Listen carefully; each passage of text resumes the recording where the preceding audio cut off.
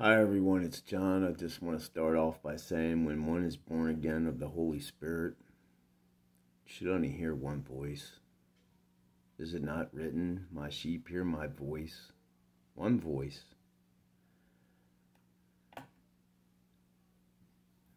We're going to listen to uh, Jonathan Nolan, aka Stop Calling Me Hireling. That is absolutely certain when I heard, I believe, either from Jesus, either from my angel, but I think this was the truth that I heard. I heard because I saw it happen. So I know it was the truth. I saw it happen. I heard, I, I heard that my cousin would hear that I'm still concerned with her over the. Uh, I wouldn't say concerned fact, you actually say what it is later on here obsession. I heard from the voice that I hear one of the one of them. Okay. How many different voices do you hear, Jonathan? Because someone who is truly born again of the Holy Spirit only hears one voice. That my cousin would know about what I'm doing still she would know from uh, my enemies. So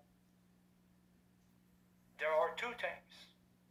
First, Robert Kelly is not very friendly with me. uh, it started by uh, he was trying to say to everybody that I mm. attempted over the life of my own mother with a knife. I would not be surprised. Maybe people remember this.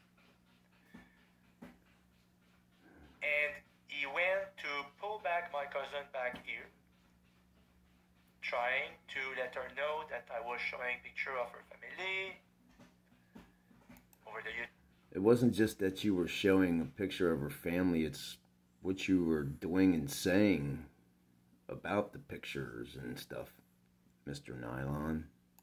Two, she herself put out picture of her pets and are plants. What's the difference? Family, pets, plants. You are sentient green things, so what's the difference?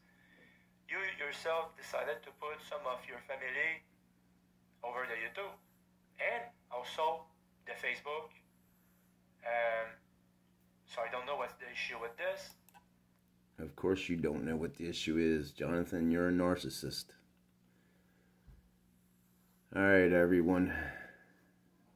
Peace, love, joy, and kindness to you all.